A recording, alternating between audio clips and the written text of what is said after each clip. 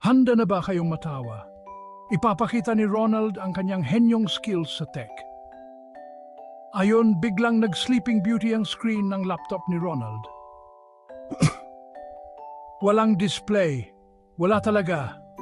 Una, binigyan niya ng yung parang seryoso ka ba na titig. Tapos kinalabit-kalabit niya yung screen na parang may ginising na genie. Wali pa rin. Panahon na para sa Plan B. Binaliktad niya yung laptop na parang pancake at chinek ang mga kable. Surprise! Lahat naman nakakasaksak. O hindi pala. May nakita si Ronald na maluwag na cable, kaya hinigpitan niya at ibinalik ang laptop. Wala pa rin. Kaya naman, ginawa niya ang ultimate fix, ang pep talk. Sige ka buddy, kaya mo yan.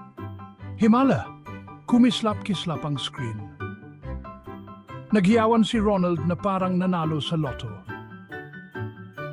At ayun na nga, mga kaibigan, ang nakakatawang laptop fix ni Ronald na hindi kailangan ng tech skills. Mag-subscribe para sa mas marami pang tech misadventures ni Ronald.